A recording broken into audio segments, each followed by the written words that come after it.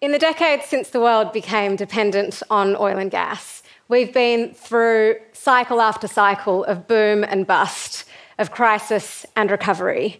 In the 1970s, the 90s, and now in 2022 with Russia's war against Ukraine, we find ourselves once again in the grip of soaring fossil fuel prices that have exposed so many countries to deep social and economic strife.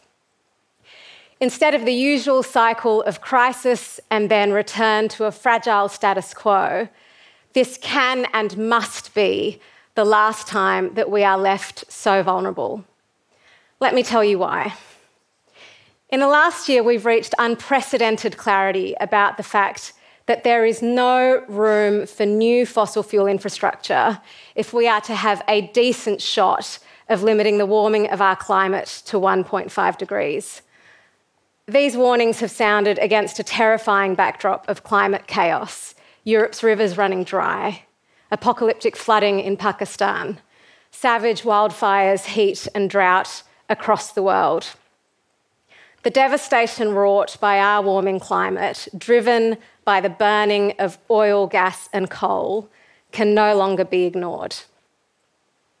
At the same time, a new reality, also driven by our dependency on fossil fuels, has been playing out in some of the richest countries in the world. In the UK, millions of people are coming face to face with the desperate reality behind the term fuel poverty. We've heard stories about pensioners riding public buses all day to stay warm, of local councils opening warm banks for people who can't afford to heat their homes. Before the UK government announced that it was going to freeze the unit price of energy in what is considered to be the single most expensive policy announcement since the Second World War, 40% of people living in the UK were expected to be in fuel poverty by the end of this year.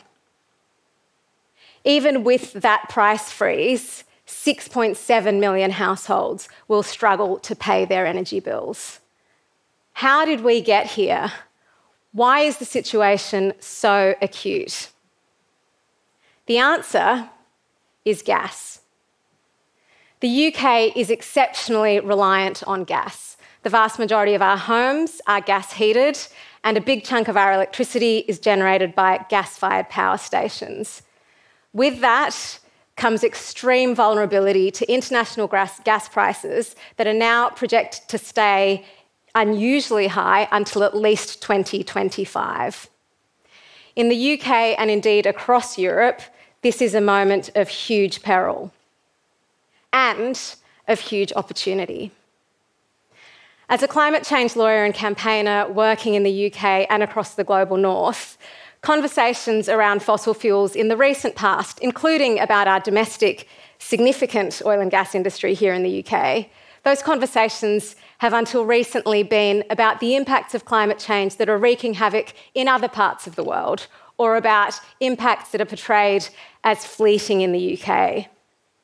It's been very easy for politicians and a media focused on short term news cycles to dismiss. But that has now changed forever. The only way to address our energy affordability crisis is to address its root cause, and that is our dependency on fossil fuels. That's now common cause not just across the climate movement, but across sectors working on inequality and poverty as well. Renewable energy sources, which are our only path away from climate catastrophe, sources like solar and wind, those are now nine times cheaper than gas as a source of electricity in the UK. Moreover, we know that we can significantly reduce our energy demand here by upgrading our homes, which are among the coldest and leakiest in Europe. While politicians and the fossil fuel industry's proxies might in this moment, and indeed are in this moment, trying to double down on fossil fuel production as a solution to our sky high energy bills, they are about to find out in short order that in a moment of acute crisis like this, when millions of people are experiencing the impacts in such a material and tangible way, there is no room for peddling false hope. There is nowhere to hide.